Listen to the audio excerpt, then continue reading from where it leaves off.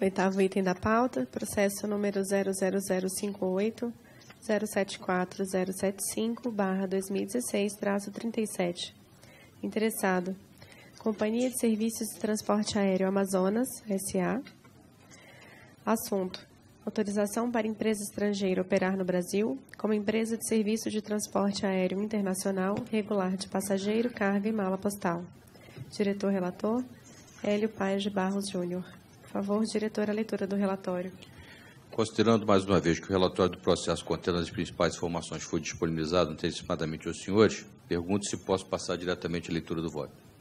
Por favor, diretor. Vieram-me conclusos para julgamento os autos relativos ao expediente protocolizado em 11 de 7 de 2016 pela Sociedade Empresária Companhia de Serviços de Transporte Aéreo Amazonas SA, empresa da Bolívia, com vistas à obtenção da primeira autorização operacional para explorar serviço aéreo público de transporte internacional de passageiro, carga e mala postal.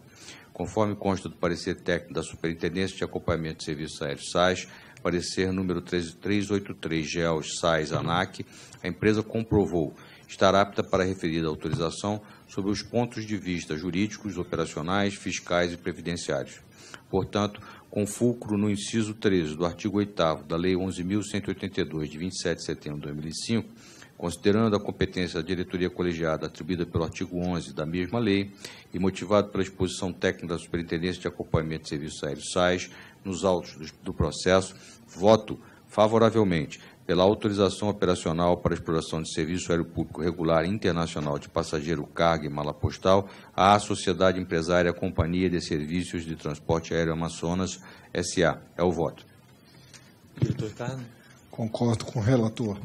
Eu também concordo com o relator, aprovado por unanimidade.